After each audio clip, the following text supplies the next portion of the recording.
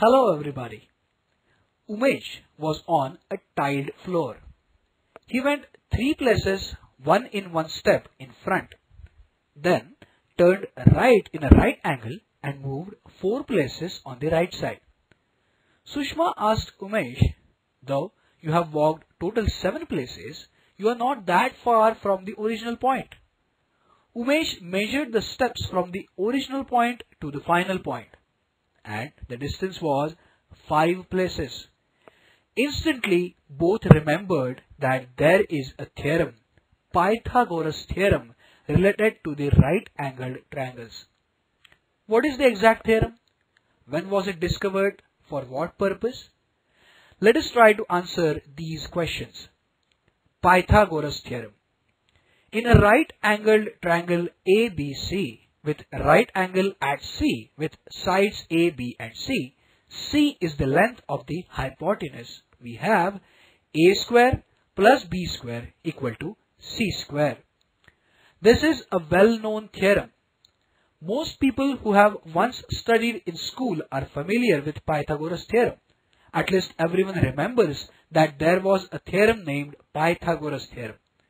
It is a result known for at least 2400 years. In Greece, Pythagoras was a mathematician who stated the theorem. In Egypt as well as in India, the result was known. In Bodhayan's Shulba Sutra book, this result is stated and used extensively. In Greece, Egypt and India, it was used to find the area of a land and also to find out the length of an edge. How is the theorem related with the area? If we have a square of side A, B and C, their areas are respectively A square, B square, C square.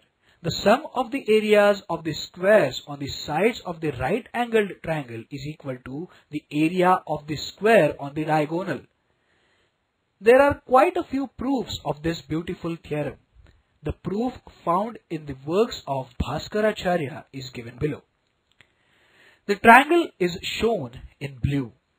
The two triangles are joined perfectly on the diagonals to make a rectangle of sides AB and area AB.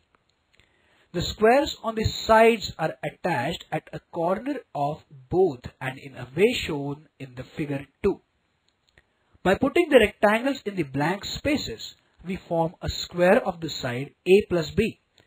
In the adjoining figure, square of side A plus B is formed by the square on the diagonal and four triangles.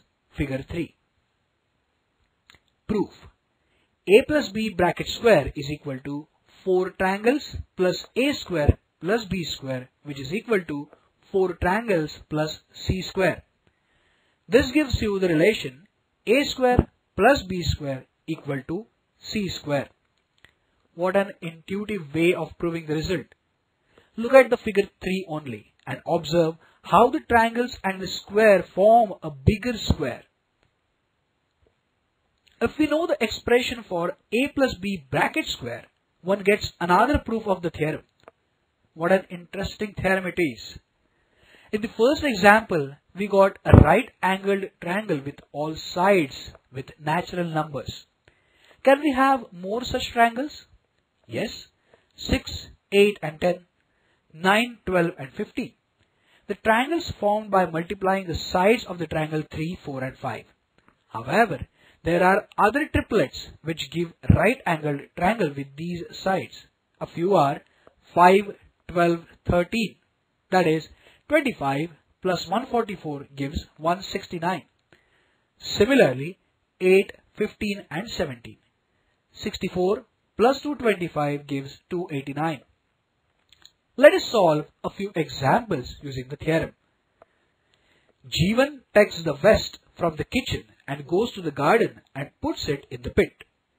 How much distance he walks between kitchen to garden pit?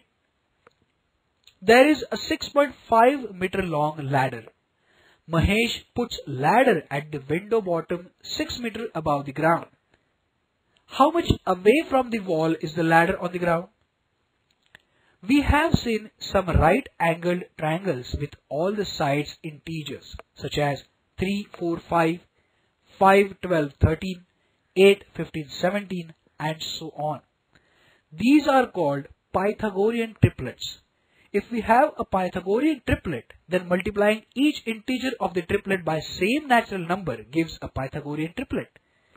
3, 4, 5, 6, 8, 10, 12, 16, 20. 5, 12, 13, 10, 24, 26, 25, 60, 65. As we will keep studying mathematics, physics, chemistry, we will come across Pythagoras or Bodhayan theorem.